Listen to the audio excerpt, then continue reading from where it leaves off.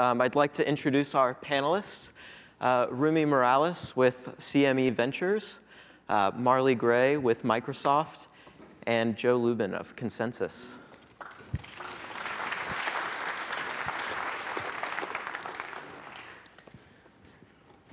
So, blockchain, lots going on, tons of activity in the space, but generally still quite a bit of confusion about what it is and how things are actually going. So let's start out with kind of an overview of the state of play of blockchain for business today. How is it different than it was maybe six months to a year ago? Marley? I'll probably yeah. take a swag at that one. so six months ago, it was um, sort of just help me stand up a blockchain. I want to stand up a private blockchain. So I, underneath what they're saying is I don't want to embarrass myself in public. Um, and everybody wants to do that. So there was this mad dash to set up these you know, places where people could play with it uh, to try to figure out you know, what they're going to do.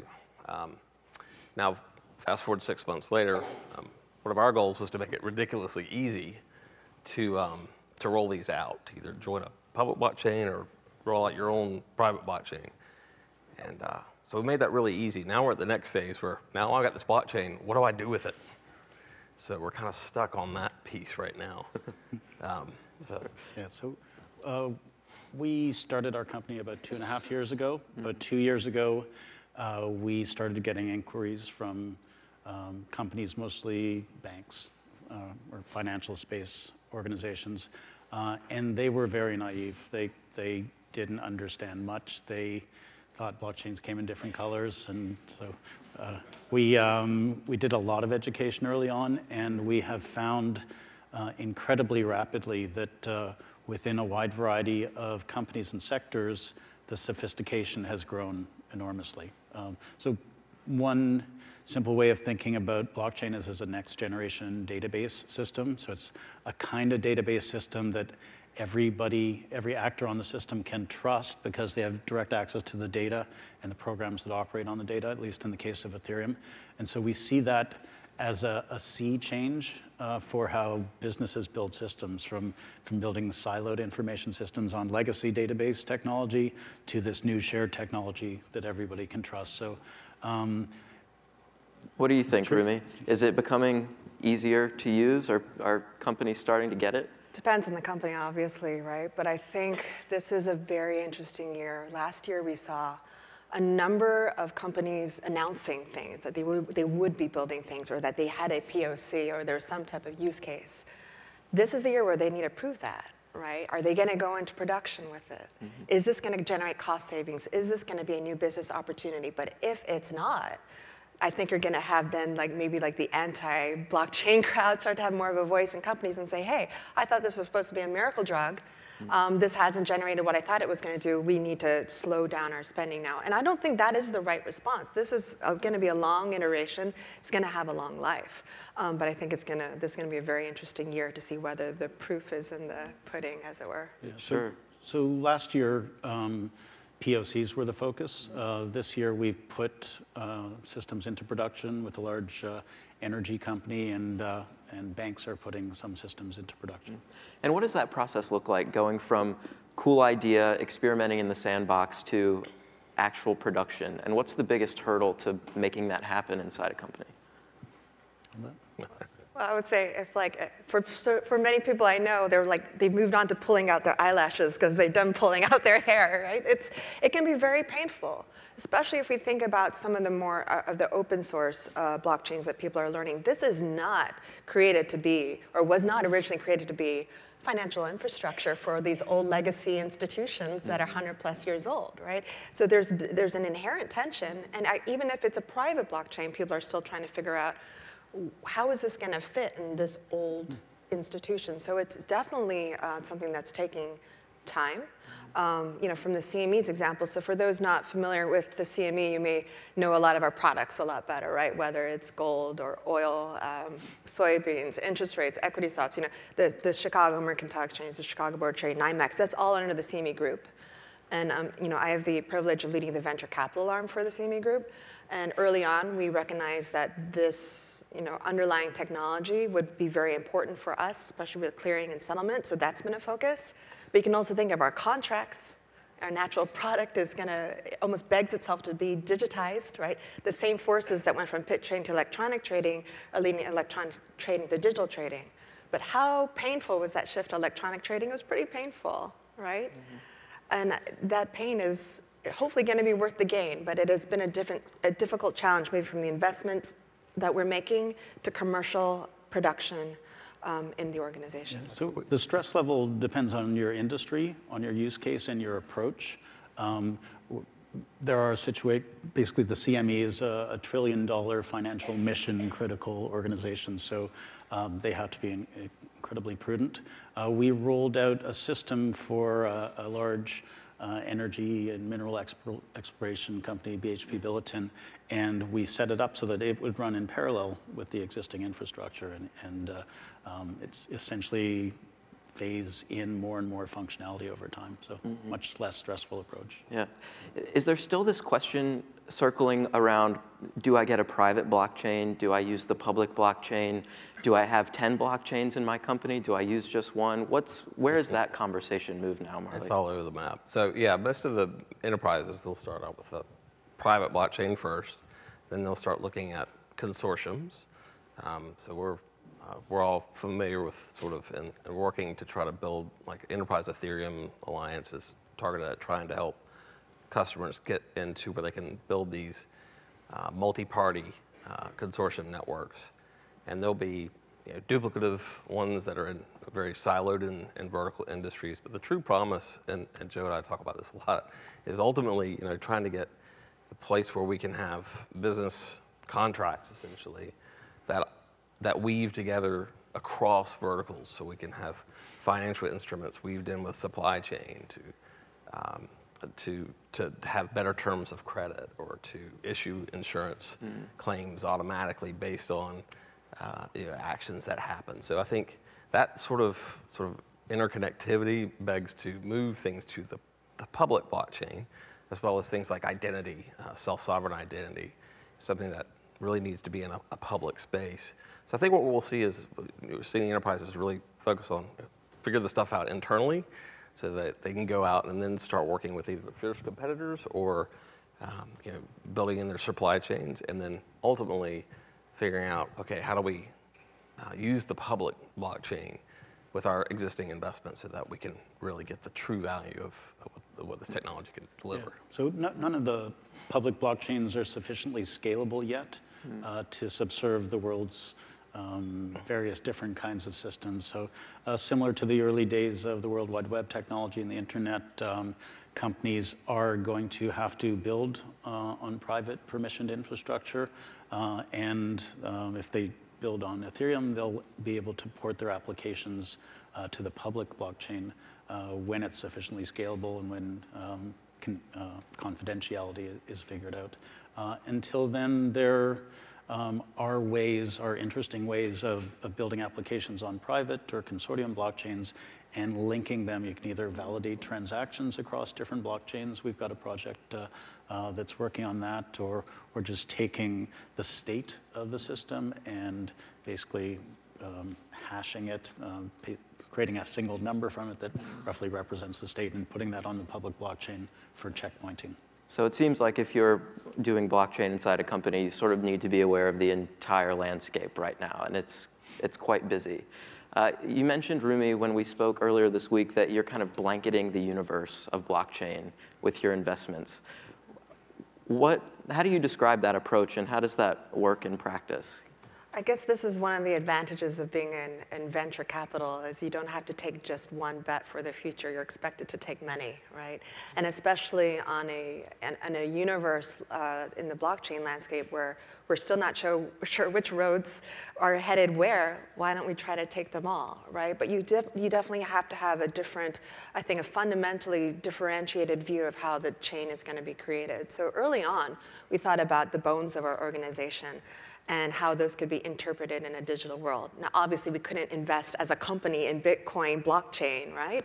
But our first investment in this space was in Ripple, and we were very interested in their distributed ledger technology um, as an alternative um, to the Bitcoin blockchain. This was three years ago. So we've been actively immersed in this space as a corporate investor. I don't care what Fred Wilson says about all of us being dumb money, or maybe I should care, but I think that we've been prudent here in our analysis of the opportunities in blockchain. Mm -hmm. um, we also saw another um, view of the world in digital asset holdings with you know, what, and what Blythe Masters is doing, specifically creating you know, capital markets infrastructure with a private blockchain as another alternative path for a future. But then quickly realized we couldn't do this with every single one.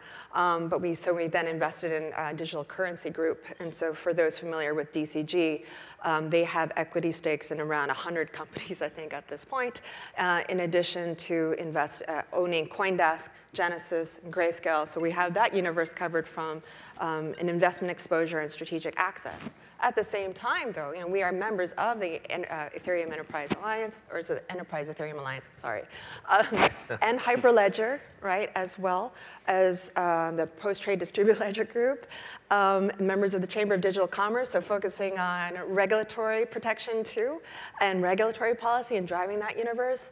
You know, there's still so much unknown, and right now we're trying to take every road possible um, as we explore um, what will ultimately work for the CME. But I, I, will conclude by saying this. When it comes then to actually developing commercial applications, we, we focus narrow, narrowly into you know, exactly what our, our most specific pain points and or what our customers are going to want. Mm -hmm. So we, you know, we have a Bitcoin real-time index and reference rate, which we publish, but we also have announced that we're going to be developing a digital gold product with the Royal Mint, and there, it's, a, it's a very defined uh, task that we have ahead of us there. Right. There are so many visions for the blockchain future, and knowing exactly what it's going to look like sometimes seems like a, a fool's game, but one thing that comes up all the time is standards and who's going to set the standard. We have so many groups who are working together, the Ethereum Alliance being one of those, to, to try to figure out what blockchain is going to look like. The World Economic Forum put out a white paper today calling for a, a global standards group um, that starts to look at how this impacts not only companies but the rest of the world. Everyone's sort of competing for influence. How do you see the standards making coming together over the next two years, three years? Hopefully they don't come together over the next two or three years because that'll be a very immature technology. Um, we, it's really early, uh, early days in, in the exploration of blockchain. Um, and there's a vast solution space that we and many other groups uh, need to explore. Uh, so um, there, are, there are certain pieces that are great to standardize on. Uh, one thing that drove enormous growth in the token launch space is uh, uh, uh ERC20 um, uh, token standard on Ethereum. So just because um, this standard specified uh, what a token should look like in terms of data and, and the methods that, it, that, that piece of software responds to, um, then it can be used in a bunch of different programs on the blockchain, in wallets, in exchanges, and uh, um, it's really made it easy to, to drive growth in that space. Identity is another really important one to try to get right early because it's foundational.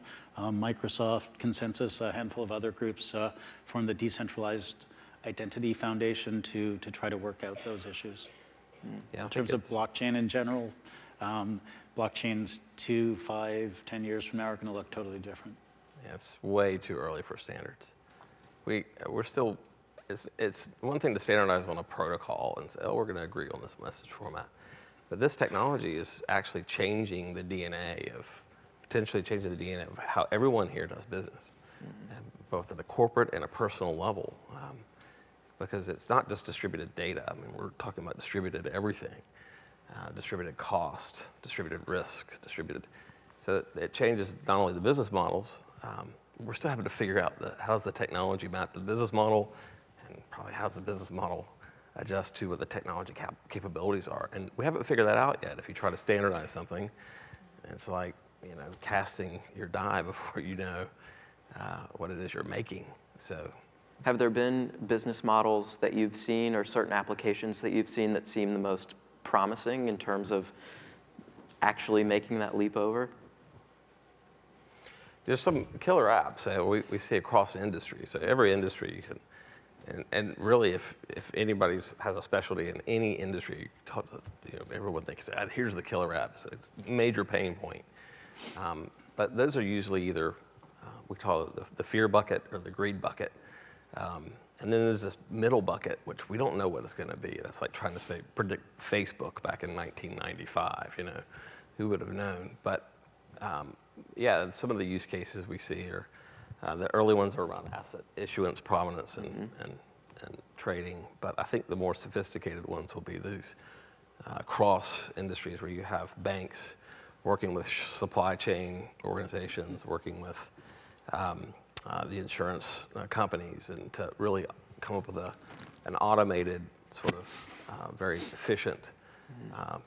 uh, ecosystem. And, and really, it's all about uh, its, its core is supply chain.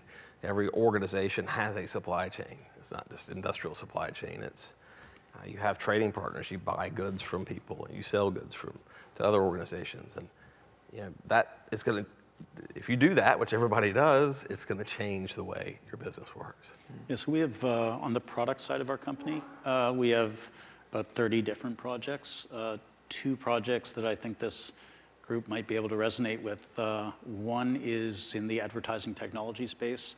Um, uh, on the internet, uh, uh the amount of fraud uh, in uh, ad placement is shocking. It's probably, probably 70%, could be higher in terms of the number of impressions that are paid out to uh, fraudulent uh, entities. Uh, so we, we're building a system that is designed to squeeze fraud out of that space. On the energy front, we're working with one of the largest energy companies in the world to build a transactional business logic layer on top of the decentralizing electricity industry. So photovoltaics, storage uh, are getting cheap uh, and decentralizing physically worldwide.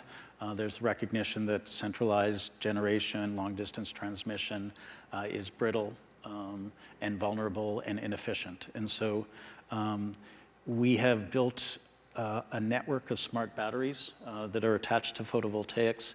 The batteries are connected on a blockchain that essentially represents a market. So the batteries themselves can put bids out for electricity, or if they're topped up, they can offer electricity uh, into that market. Um, and this kind of application enables time shifting of energy use. So um, the sun is up at a certain uh, time of day and you collect energy, um, and uh, we can shift uh, usage, say factory usage, uh, to other points in time uh, using this technology. It, it prevents uh, the need to spin up, uh, say, billion dollar peaker plants to handle peak load in, say, hot days in the summer. Mm. So it sounds like blockchain is starting to kind of converge on a lot of other technologies that many of you probably are thinking about, if not actively working with, Internet of Things, AI, things like that. How, how does this convergence start to happen? Rumi, do you have any thoughts on that? Sure. And we, I, I neglected to mention one company as well that we've invested in this space because I think about it more as an IoT company, um, but it's Filament. Mm. And you know, Filament really wants to be um, you know, kind of like the, the future communications platform slash payments platform for the Internet of Things, right? And you can use blockchain as a rail for that payment for devices that are going to be talking with each other. And I think where blockchain is very relevant with Filament is, you know, this is naturally um, something where decentralization is very important. And to your earlier question about standards and why is it too early, I think we really have to be very, very specific about the definition of blockchain if we're going to be talking about standards. If for so many you know, companies and governments that are saying, oh yes, let's use the blockchain, many times they're just looking for an encrypted database. Like they really don't want any of the charm of decentralization at all, right? Mm-hmm. Um, so for, for us, as we think about um, applications of the future and those technologies um, that are going to interact with blockchain, I think decentralization has to be a very key component of that and something like IoT makes a lot of sense. Um, but in CME Ventures generally, you know, blockchain is one part of our investment portfolio. It is all the it's filled with a lot of um, specific verticals under the artificial intelligence umbrella, as well as geospatial data, IoT, and so on and so forth. And we see a lot of convergence amongst these. And ideally, there won't be buzzwords like blockchain and AI machine learning. You want to see some type of combination before that next buzz- buzzword exists of the way that these technologies are interacting with each other. Sure. Marley, how about at Microsoft? I know there's some IoT work going on. Where do IoT and blockchain start to meet one another? Yeah, so yeah, blockchain is sort of the dot connector uh, between all of these different components that sort of, uh, and you start to compile these components together. So you've got I, IoT devices and AI and machine learning, and and you can use blockchain to create systems and tie these things together with with, with cryptography to. To, to define processes of how these things orchestrate together securely. IoT is one of the biggest things that, in IoT was the how do we secure uh, this Internet of Things that could, you know, my how my car would cut off, or you know, how do we how do we secure that? And you know, cryptography is going to be you know, very key in doing that. But you have to have sort of an end-to-end, well, not sort of, you need end-to-end security, and um, so you know, blockchain provides um, that sort of common truth that everyone can agree on, and uh, you know, I think you know, what we're uh, trying to build is the cloud and IoT kind of go together to help deliver that truth and make that truth actionable to things like IoT, uh, where it can become a trusted participant, where things like IoT devices can report into a supply chain that you know the temperature of uh, this crate went up above you know the, this uh, degree and the, the shrimp in there is bad, so issue an insurance policy, your insurance claim on this uh, shrimp, and make sure you discard it when it gets to port. That kind of stuff, and that that enabling uh, is the coordination of you know the IoT devices reporting up through the cloud into the blockchain, and, and decisions being made and rules being defined. Joe, do you get the sense that companies are warming up to the idea of decentralization? Are they becoming more cooperative? Uh, Legacy companies are not in the business of decentralization, although um, a Canadian messaging platform uh, called Kik uh, is jumping into the token launch space, and uh, um, so they're, they're embracing it to some degree at least. But uh, um, companies are using blockchain for efficiency and because it uh, enables new kinds of use cases that uh, they weren't previously uh, able to consider. Um, shared sources of truth for reference data would be one, one simple example. While all of that excellent activity is going on, there are many companies, new companies and projects around the world that are uh, envisioning new ways of doing things that are more decentralized.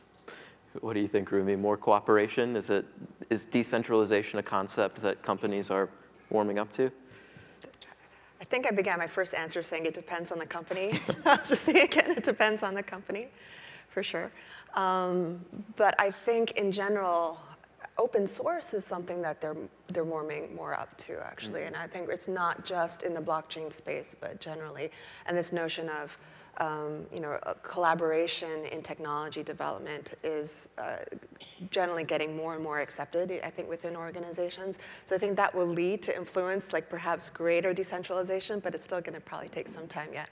Yeah. So one, one aspect of decentralization uh, could be considered sharing. Uh, and so uh, supply chains, uh, information infrastructure for sectors or industries, uh, those things have now become possible because all those cooperating and competing actors can use the same shared infrastructure. So uh, yeah, bigger companies may evolve to, to being more collaborative at least. Sure. Well, we've got a few minutes left. I want to talk about the other side of this, uh, cryptocurrencies, um, and most recently, all that we've been hearing about uh, ICOs. I was pretty surprised, uh, in a good way, to see a front page story in the New York Times the other weekend on the ICO boom. How do you, how do you start to think about ICOs? Are these unlocking new opportunities? Is it too early, too dangerous? What's the, what's the general approach to these things right now? Yeah, so um, token launches. We prefer to call them token launches based on legal advice. Um, uh, they are thawing an enormous amount of frozen global capital. It's hard to make an investment in a company in the Western world. I have to be an accredited investor in most cases. Um, token launches enable smart college students to put 100 bucks into something that they care about. Uh, or it enables a couple smart college students to do permissionless VC, uh, to put their pitch out on the internet and, uh, and uh, uh, sell some tokens um, to fund maybe a, a, first phase of development of a project. Um, so it uh, never in history have we had a platform that uh, had its own built-in money, uh, had its own ability to build financial instruments on that money, mm-hmm. had its own ability to construct uh, funding mechanisms for projects. Uh, so that that sort of dynamic uh, sets up an enormous number of positive feedback loops, and I, I think that will drive uh, um, a network effect like we've never seen. We're essentially talking about crypto derivatives. I mean, uh, this yeah. network lets you build just about anything. I think, you know, it's, it's early days. Uh, everybody's been saying, like, when are we going to stop saying that? but for uh, initial token launches, um, you, you know, the, we're going to learn a lot about how, how they work. I imagine there's going to be a couple turns of that crank before we get it really right. And I'm sure that you know, regulatory bodies will have something to say about uh, what point does it become a security versus a, um, and we, that's a bridge we're going to have to cross at some point. Uh, but I think right now, you know, the, it's still so, we're not really sure what, what it's going to do, but it's tremendously interesting.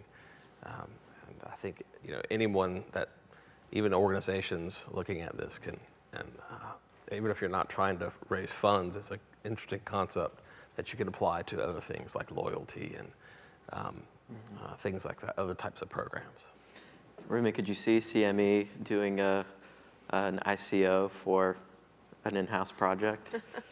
I will say this about token launches. This is where I become very old-fashioned suddenly.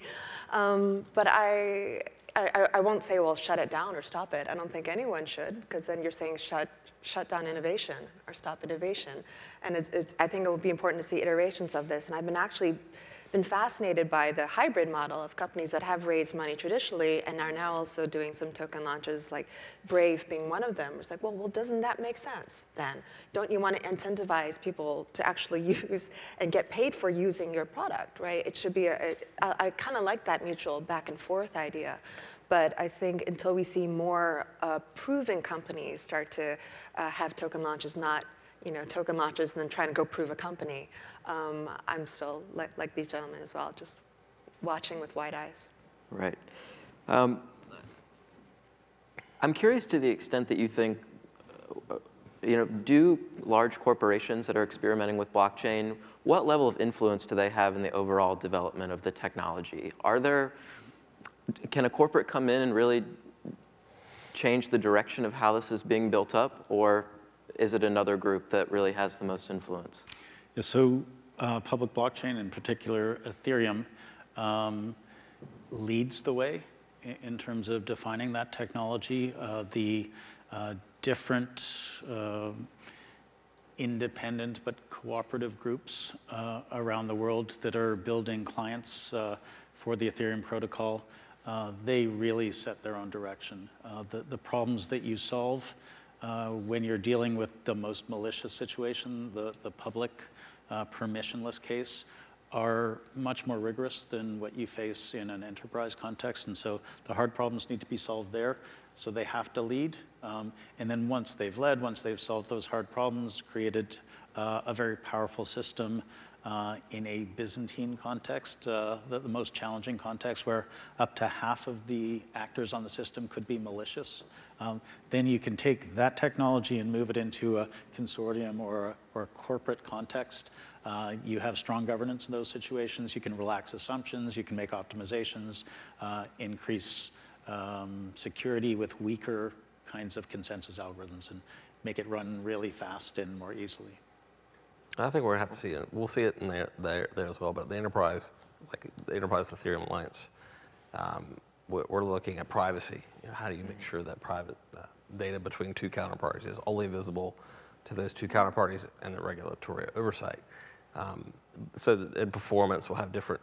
Um, but I think one of the things that we do kind of uh, in, in the, the two spaces is we don't want to do those in in, in, in, in isolation. So have the public, you know, um, sort of trustless network, sort of define that um, and fix those hard to solve problems in that Byzantine environment where the enterprise can really focus on sort of the illities, the operations, manageability, scalability, all that, all that stuff. And you know, make sure that those can work together um, as we start to see the vision of the public and the private blockchains working together to create this new economy. Yeah, you may not see corporations lead with brains, right, as thought leaders, but they probably will lead with brawn, you know, and uh, you, you see this in their, the consortiums, and once they all decide to adopt something en masse, I think it will be very powerful. Great. It- Well, It's an open source technology. There's, there's no way to buy it. It- The cat's out of the bag already. Right. Uh, And there's really no way to influence a uh, globally decentralized uh, set of hackers who believe strongly in- in decentralization. Good point. Thank you so much for taking the time, guys. Um, I appreciate it. We'll see if we're having another blockchain panel next year or if we'll be mainstream. Mainstream. Thanks. Thanks.